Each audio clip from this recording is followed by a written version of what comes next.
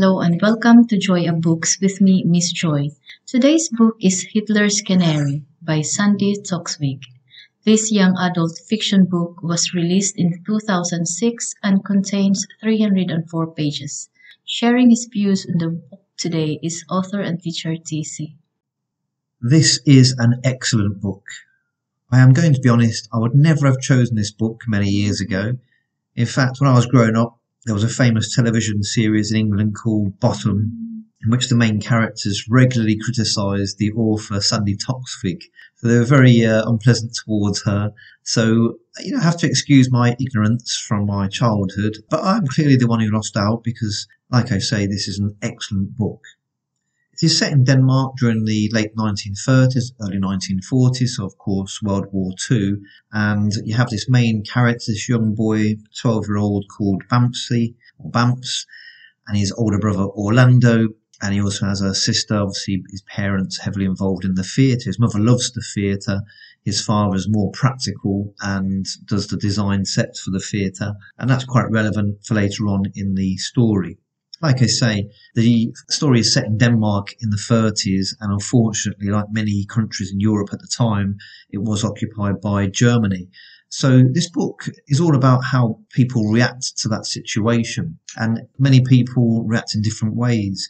You have the king, for example, continuing to ride around Denmark on horseback, saying hello to his subjects.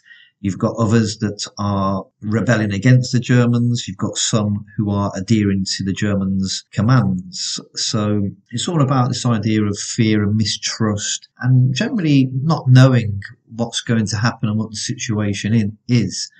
And I guess if you've been in that situation, this would really resonate with you. Of course, I haven't, so I wouldn't know. Uh, the the father's brother Johann, for example, he is in favour of not helping the Germans, but going along with their instructions and their requests. And of course, over time, this builds up and leads to unrest and disagreements within the family itself. The title Hitler's Canary is a reference to how Denmark was viewed. So the idea that you know, Germany keeps Denmark in a cage and Denmark sings for Germany and does exactly what Hitler wants them to do.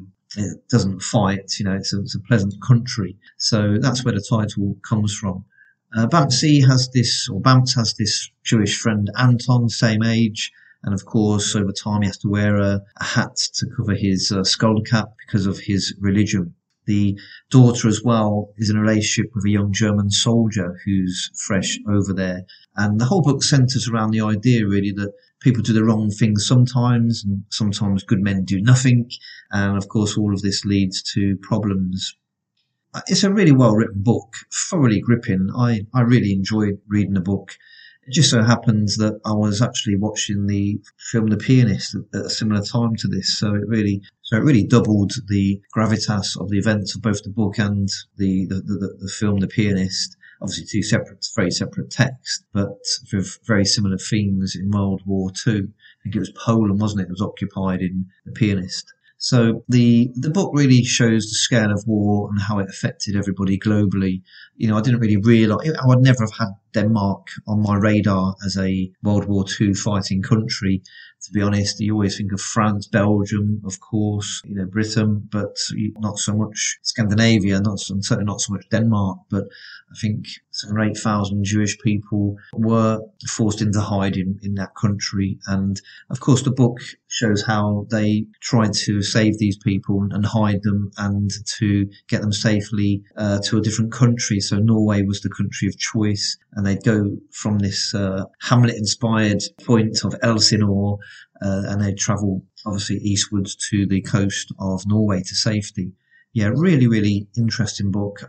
I did not expect it to be this good. I don't even know what made me read it, to be honest. It was the canary, I think, that attracted me, but uh, I was not expecting this book at all. I didn't even know before reading it that it was about World War II or even Denmark. So there you go, the value sometimes of striking literary gold when you least expect it. Yeah, great book, thoroughly recommended.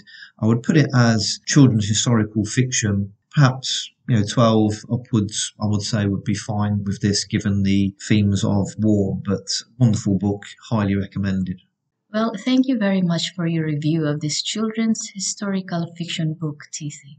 Hitler's Canary by Sandi Toksvig is available from all good book outlets. Thank you for joining me and please remember to like and subscribe to Joy of Books.